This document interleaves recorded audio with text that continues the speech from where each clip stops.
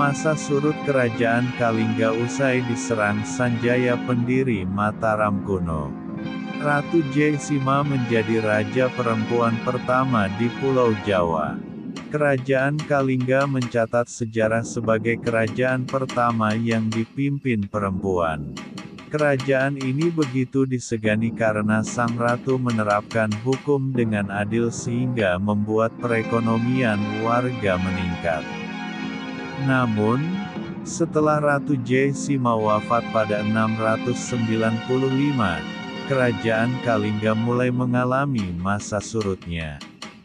Kemunduran Kalingga dikarenakan Ratu Jaisima membagi dua wilayah kekuasaannya untuk diwariskan kepada kedua putranya, yaitu Parwati dan Narayana.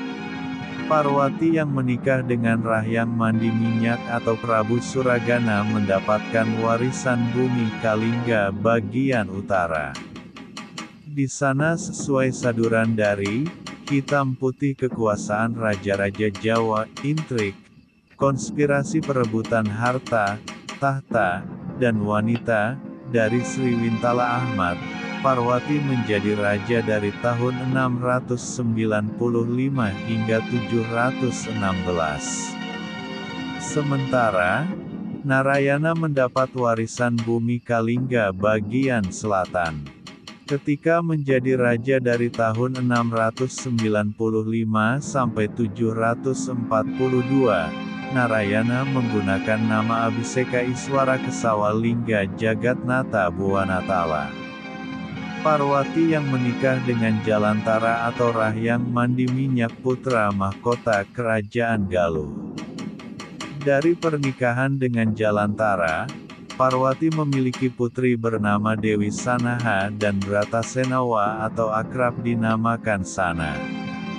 Dewi Sanaha melahirkan putra bernama Rakai Mataram Sanjaya.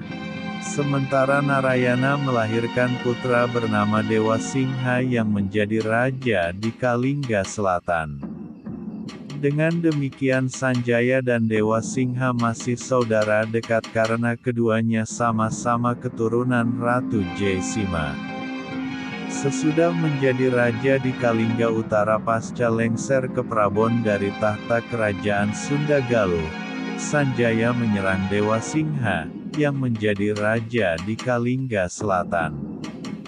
Tetapi Sanjaya kemudian menyerang kerajaan Kalingga Utara dan Kalingga Selatan, serta berhasil menaklukkan keduanya. Perkembangan selanjutnya, Sanjaya yang ingin menjadi raja di Kalingga Utara itu menyerahkan tahta Sunda, Galuh kepada Rakrian Panaraban atau yang dikenal Tamperan. Sanjaya pula menyerahkan tahta Kalingga Utara kepada Rakai Panangkaran putranya sesudah berhasil menaklukkan Kalingga Selatan. Pengertian lain, Sanjaya menjadi raja di Medang sesudah menyatukan Kalingga Selatan dan Kalingga Utara dan menyerahkannya pada Rakai Panangkaran. Berita mengenai Sanjaya mendirikan kerajaan Medang tersebut berdasarkan keterangan prasasti Mantiasi yang dikeluarkan oleh Diah Balitung pada 907. Selama menjabat sebagai Raja Medang, Sanjaya bergelar Rakai Mataram Sang Ratu Sanjaya. Dari sinilah era Kalingga berakhir dan memasuki kerajaan Mataram kuno yang didirikan Sanjaya.